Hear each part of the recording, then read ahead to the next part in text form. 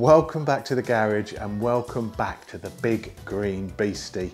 Now I bought this bike, it was probably about six months ago now, and I said before I start the full restoration on this machine, I was going to try and start it just to be sure, you know, it runs, there's no horrible knocking from the engine or, or you know, what, just to understand what might, what could potentially be wrong with it. There's no point going through the whole bike, spending loads of money restoring it, only to find out, you know, the engine's blowing. So before I start the restoration, I'm going to try and start this bike and this video is going to be all about trying to start this machine.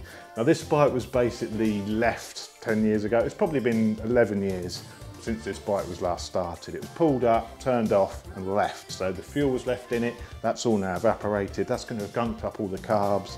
So part of this video, we're basically going to strip it, strip the carbs, clean them, change the oil, fresh petrol in it and see if it will run prior to starting a full restoration on this machine. So if you're interested in garage fettling and seeing if this old green snotty bike is going to run, then this is the video for you. So get yourself a cup of tea and Chopsy, roll the intro.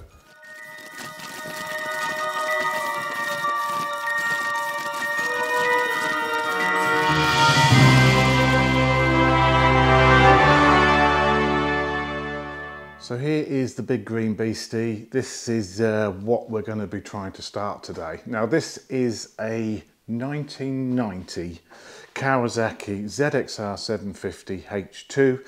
When I first bought this bike I thought it was a H1 model and some people said oh it's not the H1 Chopsy, the H1's got a different swinging arm. That's the H2 with the modified swinging arm slightly fettled engine. This has got bigger carbs on it and some other little fettling within the engine, so slightly more powerful and uh, the better bike out of the two. Now I've been very lucky. I've actually been lent a full you know, inspection system here. But this is like a keyhole surgery sort of inspection piece. So you've got the main handheld unit here and then you've got the little bit which uh, you poke in basically. And what I want to do, put it in the tank and look inside the tank and see how, you know, is it, how much rust's in there? Is it okay just to use or I'm going to have to do put some sort of lining material in it or whatever. You can steer that with the toggle here.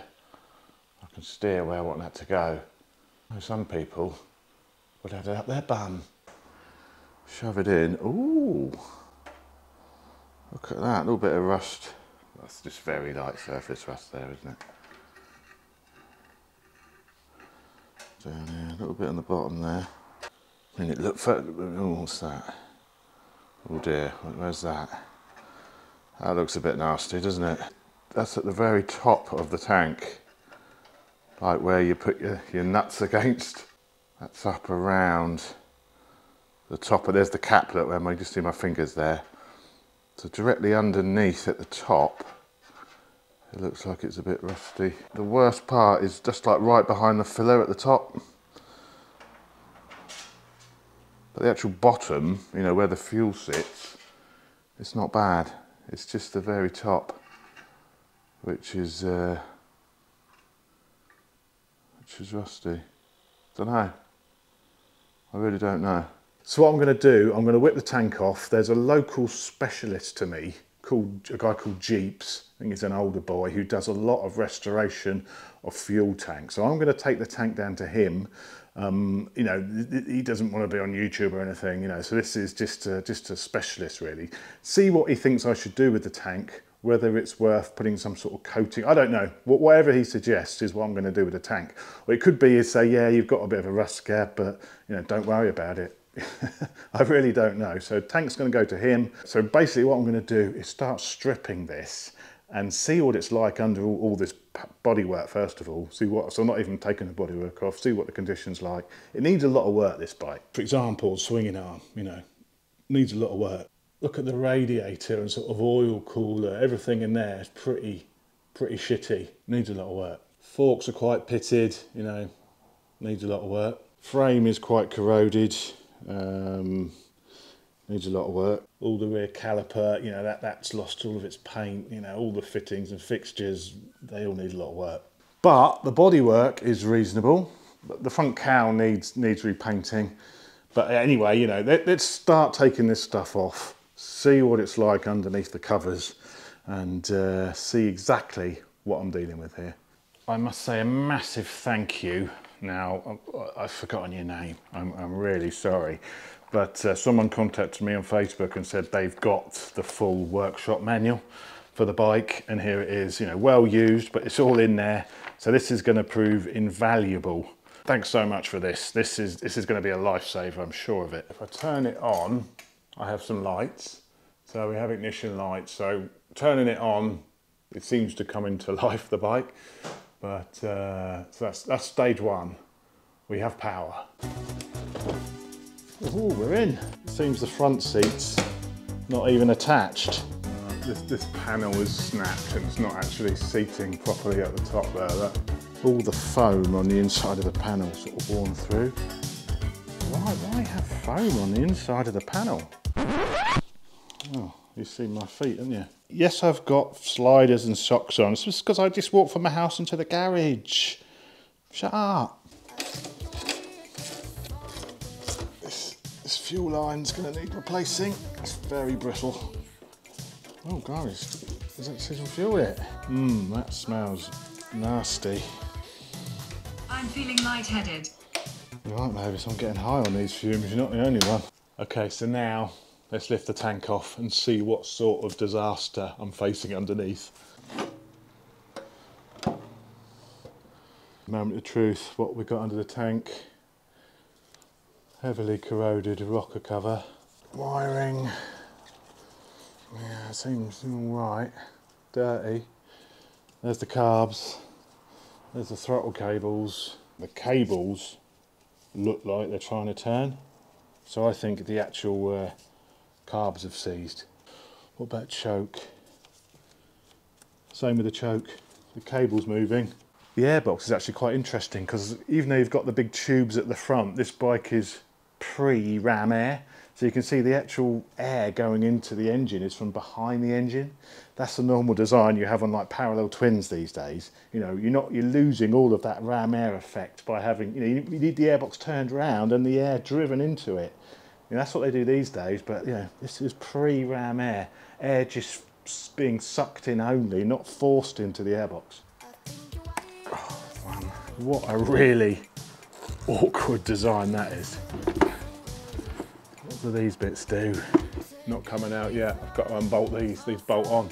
I don't know if this should have had something around it and it's just degraded or whether that's that foam from the inner panel getting sucked in, in again. I don't know. That one's moved, these are all solid. I think I'm gonna spray a little bit of carb cleaner in there just to see if I can free, free them up at all. That one's free. Now everyone would probably tell me this is an absolute no-no, but I'm gonna got a plastic chisel. Just gonna put a little bit of pressure on it. Aha. There's that one.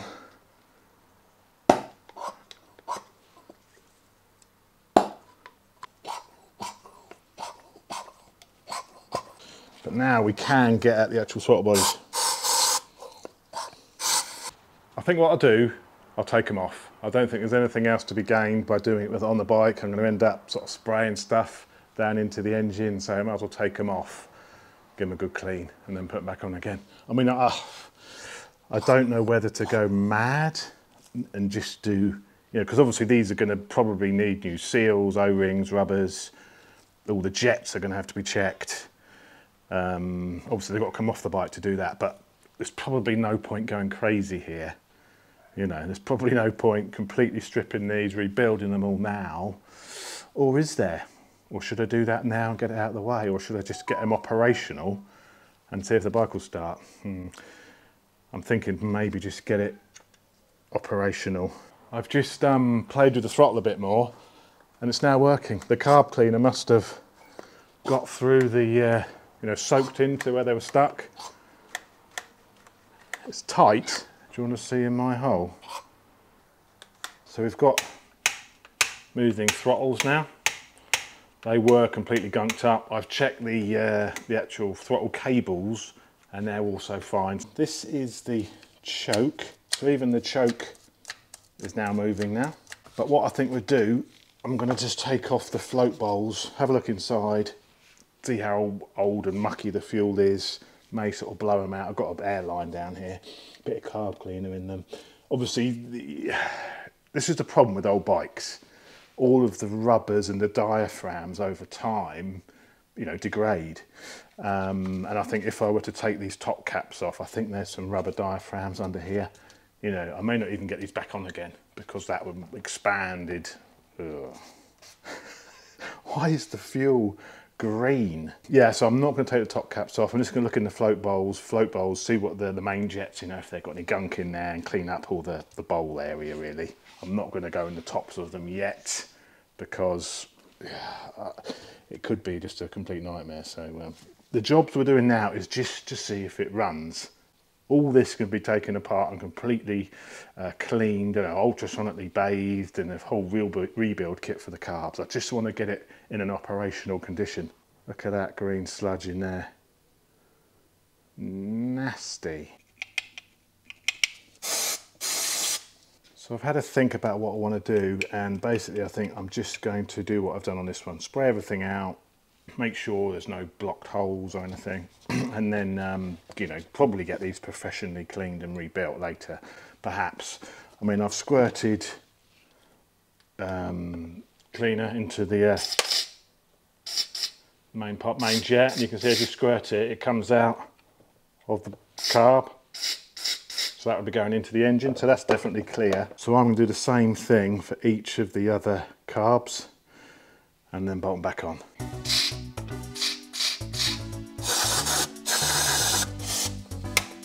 But there we go. I think we'll chuck those back on and move on to the next phase. Carbs are now clean and ready to go back on. We've also got this, what looks like a fuel pump and filter here. So I'm surprised the bike's got a fuel pump. So first of all, that's a bit surprising. I thought it was just gravity fed, but there is a pump. So we're going to, to see if the pump still works. But just looking down in here, I mean, oh, it's in a terrible, terrible state. You can see here there's like the alternator, well I say alternator, generator, but it's actually more like a, literally like an alternator on this bike. It must not have like a stator. It hasn't got a stator like on a modern bike. You know, where you have the stator inside of the casing. Looks like you've got like a more of a sort of car alternator and a belt sort of being driven by the engine down there. But I mean, it looks, it does look pretty grotty. Cam chain tensioner there and if you look inside here you can just about see the top of the valves. We try and get some light hang on I can't get it but you can just the valves are in there and I can sort of see you know a bit of gunk on top of the valves maybe. It's really hard to tell really hard to tell so um, yeah I'm a bit sort of shocked I'm a bit sort of shocked at the amount of work here. I mean this this I think this bike is really on the limit of what what is salvageable if I'm honest. You know obviously the rocker cover needs uh, obviously that's fine but I'm just I'm a little bit worried now what the internals of the engine is going to be like. You know is, is it I mean it hasn't been started for 10 years and I guess you know, you're going to have oil. I guess there's still going to be oil on the cylinders. You're not going to have like rusty cylinders and stuff. you know, I'm actually thinking, how bad is this bike going to be? But let's, let's just see if it will run. I mean, I'm going to I'm going to drop the oil now. So I'm, I'm going to put the carbs back on, take the fairing panels off, drop the oil out of it. Let's see what sort of condition the oil's in that comes out. Check the coolant level. I'll change the coolant anyway, I think. Um, yeah, and then see. And then I'm going to crank it over, you know, just to, once the all new oil's in it, obviously. Anyway, let's get the panels off. Old school battery with the separate, you know, not non-sealed battery. So you remember these? I remember popping these caps off, put it on charge and it all bubbling up. And you have to top these up manually, top up the cells of the battery. Not seen one of them batteries in years. I may have to replace the battery. Whether that's going to have enough power to crank the bike, no idea. There is a lot of work there. Mark sentiments exactly, Mavis. So the carbs are back on. I'm now going to take the fairing panels off and drop the oil out the bike. I'm really interested to see the state of this oil. Um, yeah, this bike's pretty bad. This bike is almost like borderline whether it's worth restoring or not, or just breaking and selling for bits. But she's going to be saved. She's going to be saved, providing that engine isn't trash. Let's have a look. I don't think we'll be putting these anodized blue bolts back on. None of my tools are going to be virgins after this. They feel dirty Well, you already. slappers. Slappers. I don't think any of these fairing fasteners are actually original. Every single fastener on that fairing is different. Both sides. Well, initially, looking at it, so the paint's still on the cylinders. I guess that's the beauty of having a bike with fairing. The, the engine remains sort of out the elements, doesn't it? Cylinders aren't too bad paint-wise again. Not again. too bad, Obviously, are I'm you gonna joking? repaint everything anyway. But um, yeah, not too bad. Not too bad. Headers, little ding on the headers there, very slight. Oil cooler. Obviously, the the guard's pretty rusty. Bolt missing here. but it isn't too bad there. I, I thought these had an internal oil filter. I've ordered the wrong oil filter because I thought it had an internal one, not an external one like that. The filter actually doesn't look that old, does it? Doesn't look that old, that filter. Which could be worrying. So what we're going to do, let's drop the oil out of it and have a look at the state of the oil. One thing I've noticed working on older bikes is that they're not quite as easy to work on as modern stuff. Prepare to get mucky. Yeah, that oil's pretty new to me. Oil out, interestingly, this oil looks, well, brand new. looks brand new, the oil in the bike. So, which is actually, you know, really quite worrying because maybe someone's tried to do this before. Maybe someone's tried to start this bike before. They've changed the oil, put a new filter on. The air filter is also clean. I've just checked it. So it makes me worried that someone's attempted to start this bike.